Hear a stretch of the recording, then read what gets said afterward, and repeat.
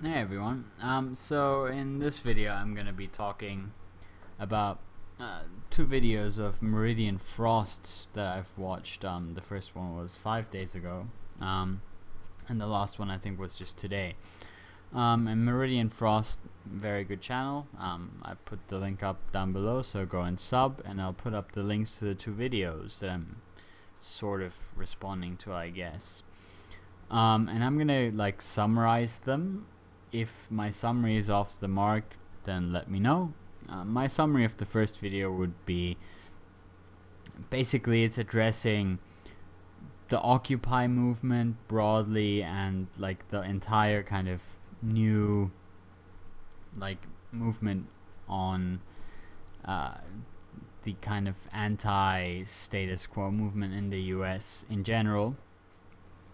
Um, and attacking it for only starting to care now where it's affecting them, whereas they didn't care uh, when there were so many people suffering for the many years before this, um, which is obviously true.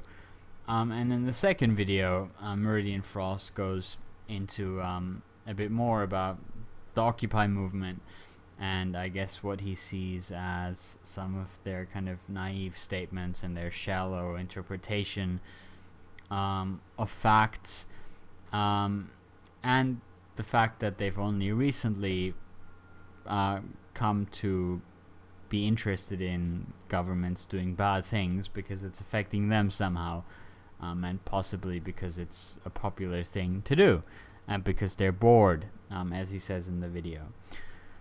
Um, and I mean, first of all, I I do share the general sentiment. I mean, it it pisses me off to be quite honest that there is so much horrible stuff going on in the world and yet people are very much not just willing to like dismiss it but even willing when they're put on the spot to um to to put out a position that is not important to them. And I mean, you can look at like foreign aid, for example. I mean, foreign aid is nothing. But if you ask people, what should we do with foreign aid, it's usually, oh, decrease it. Nothing is not little enough. And out of that nothing, obviously, most of it goes to weapons um, and terrible things. And it's used as a means of stabilizing countries that are important or blackmailing countries in some cases. Um, so, I mean, that's just one of many examples. Uh, you can look at, you know, AIDS, anti antiviral drugs. Uh, Bush was lauded for, I think it was like a billion dollars, or I think about a billion dollars of uh, AIDS drug spending that he moved to the US. He was lauded for it because it was the biggest kind of spending anyone had like done almost ever. Um, and so yes, kudos to him for that, but of course it's pathetic when you look at the trillions of dollars that are in the budget and the enormous human suffering associated with AIDS and the enormous benefit that could be produced by these drugs, which are relatively affordable. Um, not to mention all of the issues surrounding the, the kind of the patent rights, and that's that's one tiny little issue. And then there's a billion other issues. There's the Congo. Um, there is there's all of these conflicts. There's all of this injustice. There are all the things that the CIA has done to South America. There is the governments that the U.S. has deposed elsewhere. There is this legacy of injustice, of suffering that goes back. I mean, it goes back to some extent to the beginning of history. I mean, Caesar uh, genocided hundreds of thousands of Germanic peoples, so it's not like it's a new issue. Um, but it's it's certainly more. To me, it's more disappointing now that we have the tools to know about it, and now that I think officially these are things that should be concerning us because when you look at what we profess to believe in, the Romans just didn't care and they would have told you so. Now we profess that these things are important, but then when you dig down, are we willing to do the slightest little bit? No, we're probably not as a society. Um, so I, I definitely share the frustration. Um, but to me, to attack, I guess, the Occupy movement or this kind of budding protest movement in the US as a response, I mean, to me it just seems misguided. It seems like that should be something that should be embraced. Yes, it is frustrating that uh, usually it's when people are directly affected that they step into action. But in a way, it's natural. It's natural, especially in a system where people are explicitly not exposed to these facts in a way that would make them act. And it's not in the interest of governments to expose them to real understanding. So people are trapped in their own world where they don't get that kind of understanding. They don't empath- empathize with people elsewhere and they can just delineate completely between themselves and the horrible suffering that's in other places. Um, th- that's what I think happens. And what I think happens but I think the only way to access experiences like that is is in some way to be able to put them into like a into a framework where you um, look at it from your own eyes and your own perspective and you consider how would it be if I were in that situation? And in a way that's I think what this could lead to. People are struggling. Yes, they're not struggling in the way that people are struggling in other parts of the world, but they're struggling. And that kind of struggle could be a way in which they would identify with other people that are suffering. And that might be a way in which we could actually open up these broader issues and make people concerned about them. Um, I mean, I think that's definitely a great opportunity uh, and I think I think it's one it's it might be one of those floodgate scenarios where once people become aware that there is this bigger context that there is this larger world of injustice then people actually start doing things. And of course initially people are going to have naive views about topics. I mean, people, a lot of young people right now, they're they're young. A lot of them are fresh out of university. Some are fresh out of school. Of course, they don't have the understanding of the situation when they're just approaching all of these topics. Um, and of course, when you listen to it as someone who's thought about these topics for longer, certain parts of their reasoning will seem naive. When you get into a discussion with someone like that, it might prove frustrating because they might have an approach which is, in your view, not productive, or they might have an understanding which is very incomplete and which is missing huge, important parts of the world and history.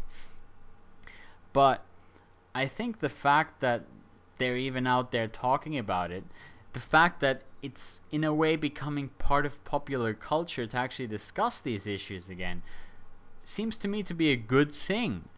Um, and yes, I mean, it may be that certain people get into it because it's it's a selfish thing, or maybe because it's a popular issue.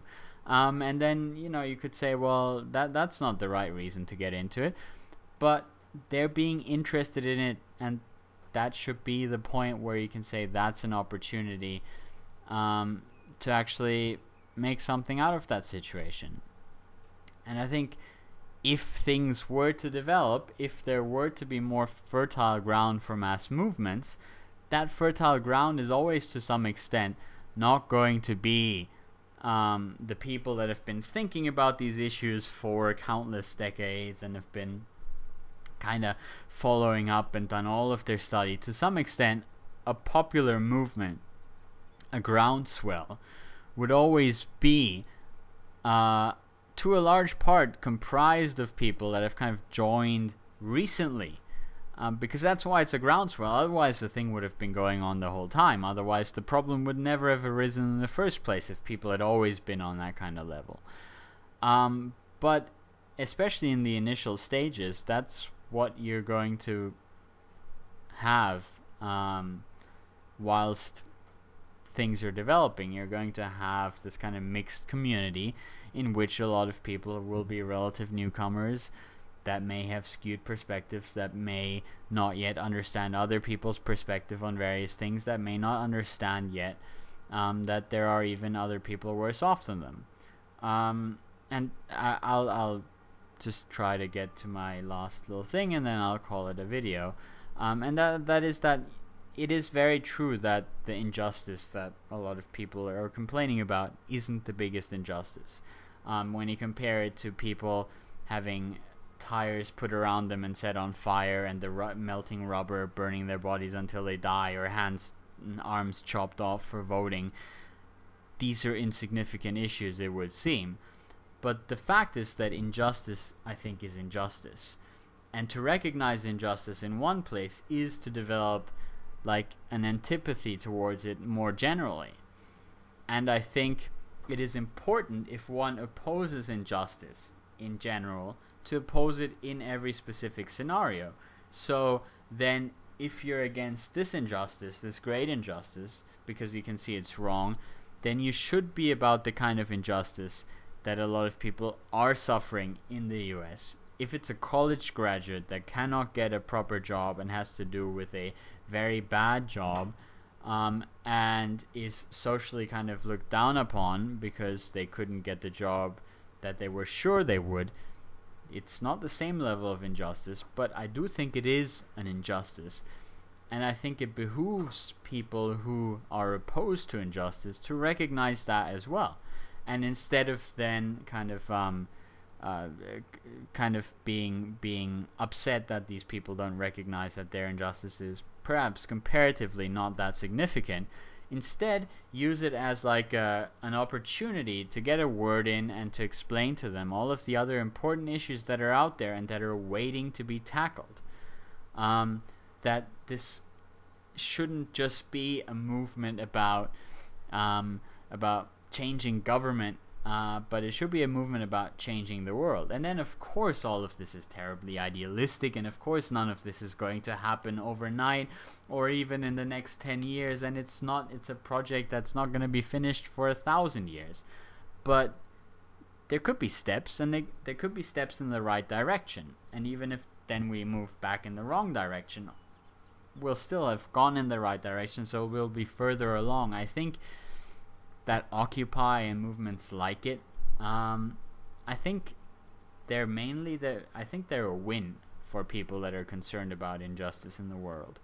Um, because of all of these opportunities that they give us um, to address these issues and to talk about these issues and to also get these issues perhaps even into the media because if people are discussing injustice in one sense then it becomes a lot harder to ignore a lot of other injustice anyways church of STFU i'll see you guys all later